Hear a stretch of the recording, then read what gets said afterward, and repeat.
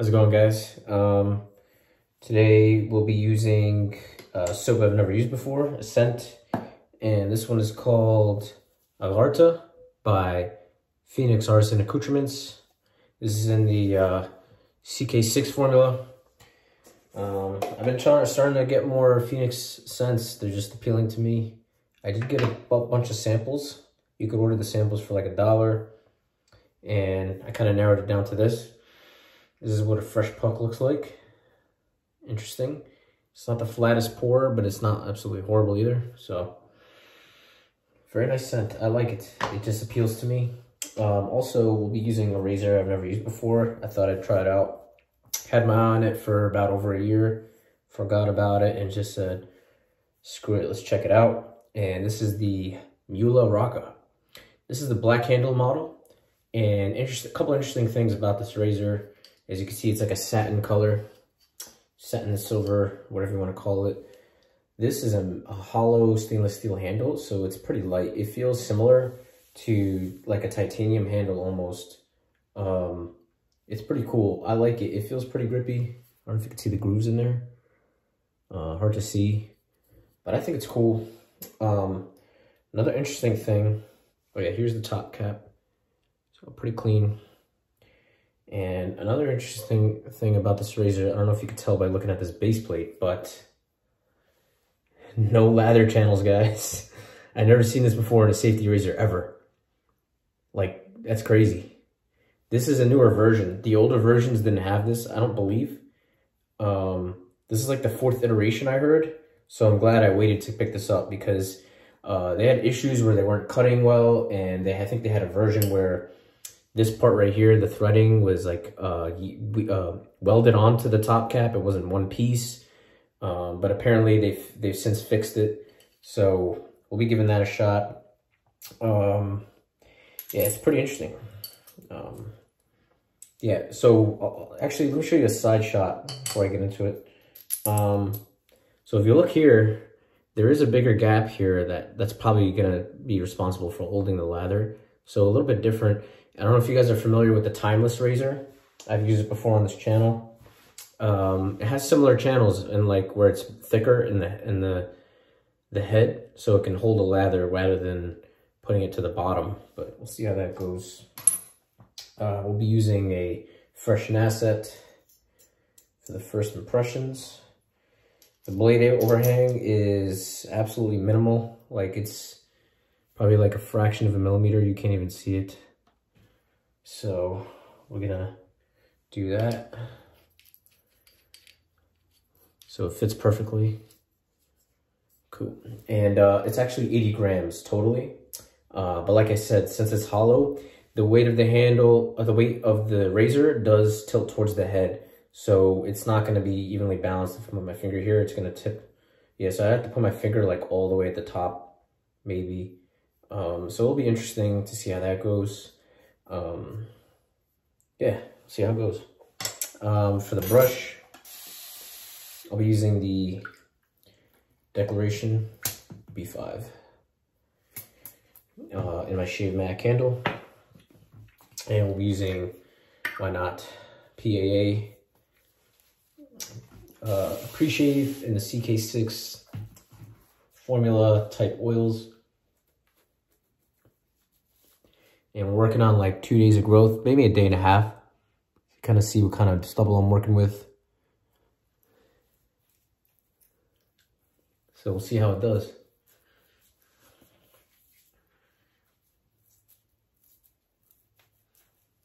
I love this applicator on this uh, pre-shave stick. It's just, so everyone gets the cube because you get much more pre-shave soap in cube form, but I love the applicator. You don't have to get your hands dirty as much, or both hands rather. But they work, both work fine. Yeah, this stuff is so thick, like you could probably shave with this. I probably shouldn't have applied so much. I'll probably do a 15 second load. Because if I do a 30 second load, I'll be lathering for like 25 minutes, like 20 minutes, which I don't want to do since I'm on camera. I don't think I'd want to allow that long off camera either. to be frankly honest. Anyways. So I'm just drying my hands here. All right, let's get to it. I'll go over the scent in a minute. So we're at 518. We'll go to 528.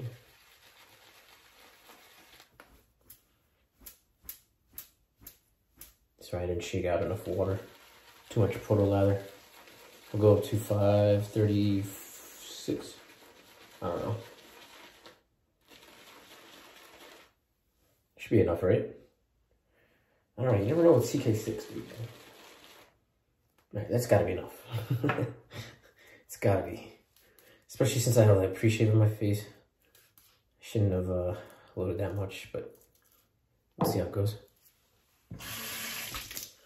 Stuff is crazy slick. Um, I mean, Chris has said it, uh, and I'll second what he says. In my humble opinion, I find this, well, actually, I can't say because I haven't tried another base that might combat it. I was going to say CK6 is the best vegan base on the market, but I haven't tried the Nai base by Grooming Department, so it's one of the best of, so both of them I'll say are one of the best because I haven't tried it. I'm waiting for the new Nai to drop to try that out. No sense picking up the old Nai, right?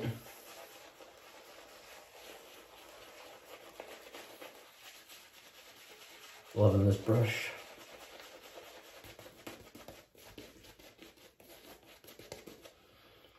And I don't think it'd be too long to dial this in. I don't think I overlathered overloaded, hopefully. You know, mind it a little bit thicker. Add more water on the second pass. This scent is very sweet, but I, I really like it. It's not overly sweet. I was gonna get uh, Cavendish, which is like a sweet pipe tobacco from Phoenix. Um, but, uh, and if I found it a little bit uh, similar to one of my other scents I've done. So I passed on it. I still wanted to pick something up that was sweet and maybe slightly smoky. Maybe due to the ambergris that's in here. The scent notes are, let's see, talc, ambergris, amorous, French vanilla bean, Japanese sandalwood, cedar, and oak moss. So maybe that smokiness is from the amorous or the ambergris. that I'm not sure. I'm guessing. Um, but yeah, I, I imagine the vanilla bean is what makes it sweet. Definitely has that vanilla. I like it. I mean, at first I got a, a sample and I was happy with the sample. So I went with it. And if you think about it, this soap will last for a while because it's five ounces. And this is what it looks like now. Um, and it's soft, but like you don't have to load that long. You know, it just lathers itself. All right, we're good for now. get into the razor. Okay, cool. All right, so first pass with the Muhle Rocca uh, with the fresh Nacet. I heard this is somewhere in between the R41 and the R89. So we'll see uh, if that actually holds true.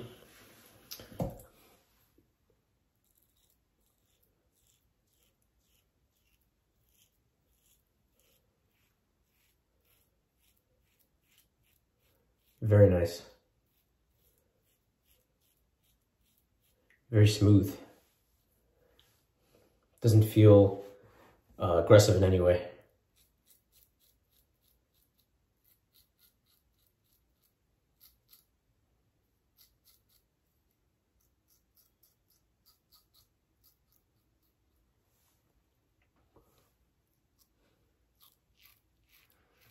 Friend of mine recommended this to me. Oh yeah, let's take a look at that lather channels before I...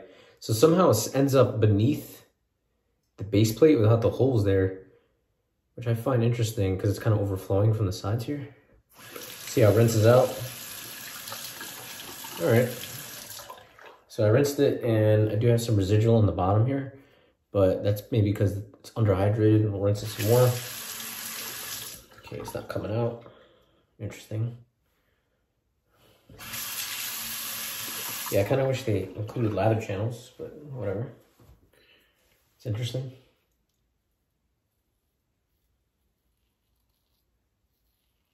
So you get very little blade feel. Um, kind of reminds me of a Karve almost, but less. Um, almost like a Rockwell. Yeah, because it's got more gap than a lot of the cars I've tried.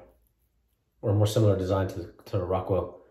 Um, my friend told me, he said it feels like a Rockwell on plate 5, but is slightly less efficient than the Alpha Shaving Outlaw. So I was like intrigued when he said that.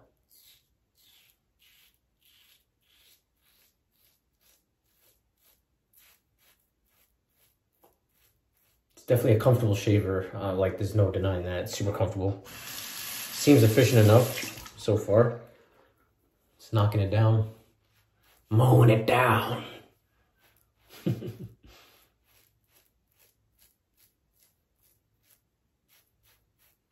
just kind of feels weird because the head is head more heavily weighted than the rest of the handle. I kind of prefer my razors to be balanced.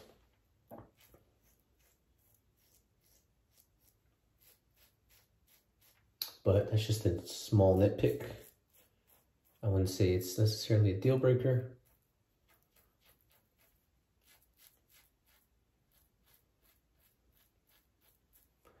Awesome. The uh, There's a lot of stubble in the sink right now, which I am seeing. And uh, CK6 seems to be forming pretty well as usual. No surprise there. Um, wow, this feels very comfortable. Some On some razors, this area feels tuggy on the first pass um, because it's pretty much against the grain for me. I still hit it anyways. That felt comfortable. This this is a very comfortable razor.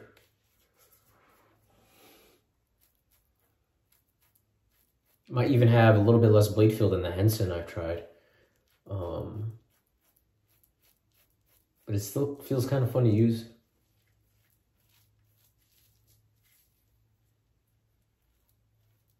Like it does, it feels super comfortable.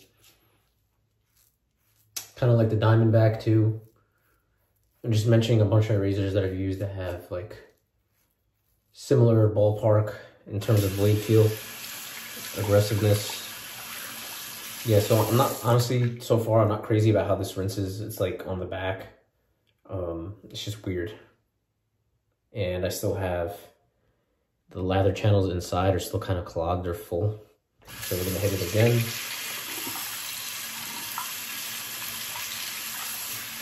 All right, maybe because it's underhydrated CK6, but still, still stuck in there. Um, weird design, Muhle, weird design.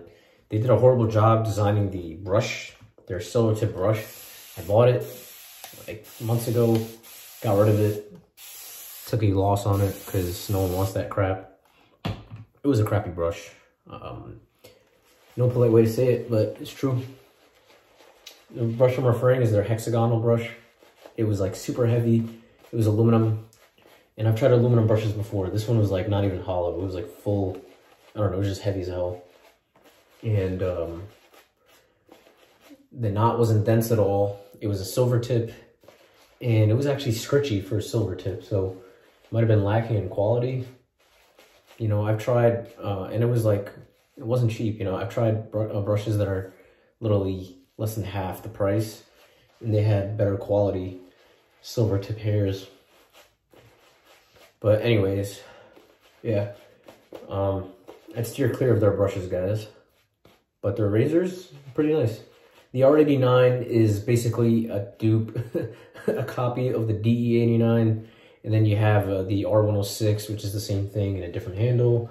You have the, there's another competitor that copied it too. Was it Parker? There's like three different manufacturers that all use the same head. It's like, all right. I don't think it's the Merkur. I heard the Merkur is a little different than the D89. So, um, I have both pretty much, but like, I don't know. Haven't used it in a while. Very cool. yeah, but anyways, this is the stainless steel offering. So piqued my interest a little bit more than some of the other razors because uh, I kind of like stainless steel. It feels like more of a better investment. Um, you know you're getting a razor that's probably going to last a lifetime. Uh, so it kind of gives you that peace of mind. Just drying this out a little bit. This stuff is slick against the green.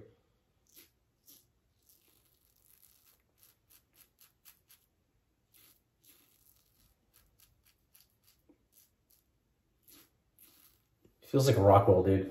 and that's not a bad thing. That's actually a compliment. You know, it's got uh, a definitely definitely an interesting design. I just it's weird. It's picking up the lather, but it's just in a weird way.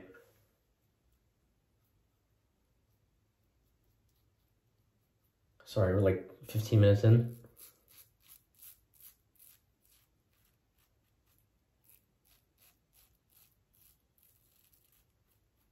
kind of suck at shaving and talking at the same time. Apologize. Against the grain.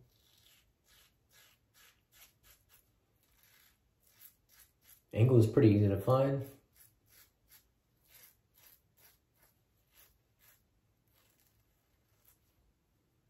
Feels nice. It's definitely mowing it down.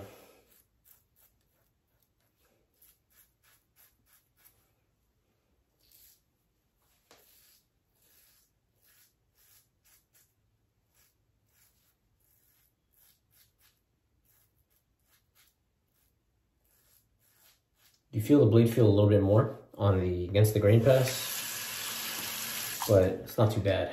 It does feel like R5 or R6, probably maybe even R6, you know, on Rockwell. Um, maybe slightly less efficient, but very close. Um, yeah, this is the same price too, ironically, as a Rockwell. It's 100 bucks, uh, by the way.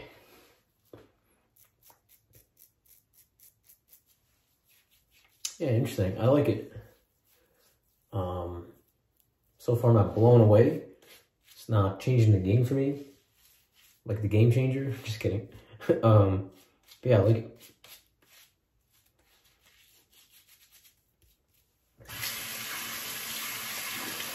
Other competitors in its price range might be the, if you're in the market for a $100 stainless steel razor, you know, you don't want to pay 250 for like a Rex or some crap you know, or something. Like, I mean, um, uh, the Blackland Dart, 100 bucks. Muhle, uh, Rocca, 100 bucks.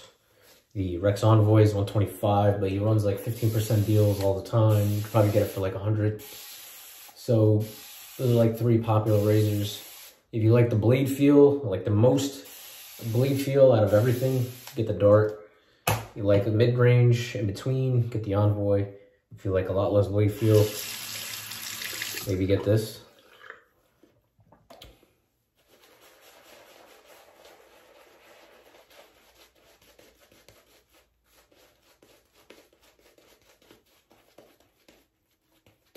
Yeah, so I find this scent like sweet and smoky, almost, uh, kind of almost reminds me of like myrrh it's interesting. I like it. Um, I'd say my favorite PAA scent is Atomic Pumpkin or Gondolier. Those are my top two. But this is nice. I mean, if it was nice enough for me to buy, it's got to be nicer.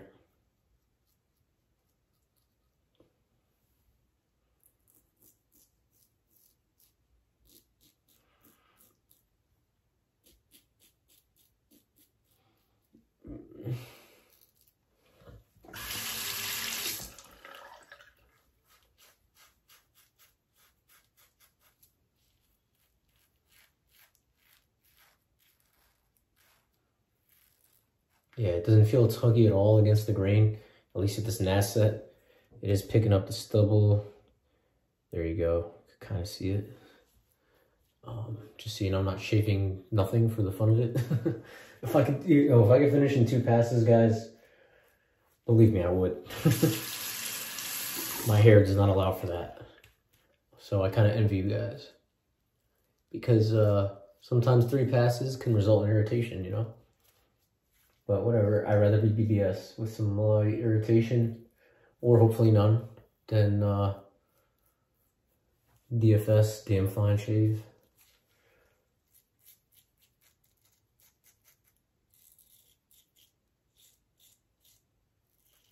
Decent audio feedback. My friend told me it sings. um, after trying the carbon, I don't think it sings. But you can hear it. It's got like a nice high pitch to it.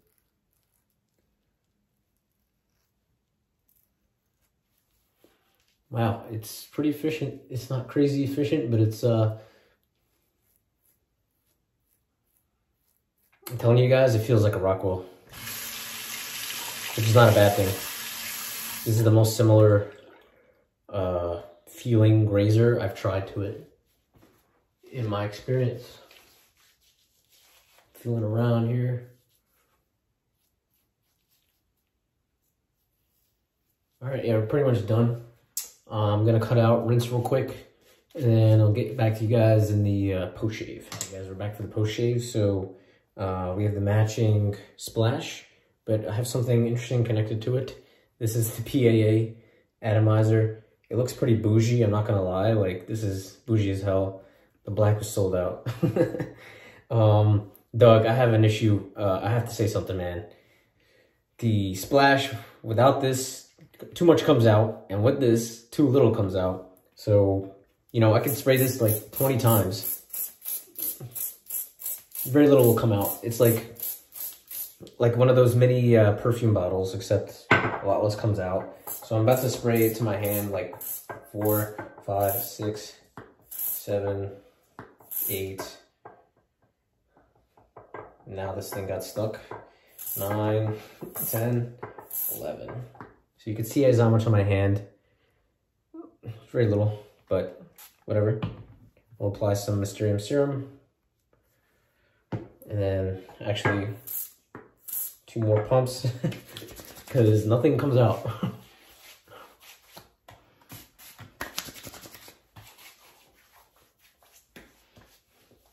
um, yeah, I mean, it's gonna, it's gonna last way longer with the atomizer, but I wish just a little bit more came out. Um, I wish I could transfer it to my own bottles, but um, the glass doesn't really allow for that. Does this have menthol or what? This thing is like, I don't know if that's the burn. It's burning like a cologne, man. I mean, I'm, you know? I should know better. This is uh, PAA cologne uh, aftershave. Strong burning there. That was like, what, 20? Um, interesting. Anyways, that's the shade. We used the Harta, which I thought was pretty cool scent. The Razor Villa Rocca. Couple, as you can see, I rinsed it. Still a little bit of residue. Yeah. Um, so cons, lather channels could be better.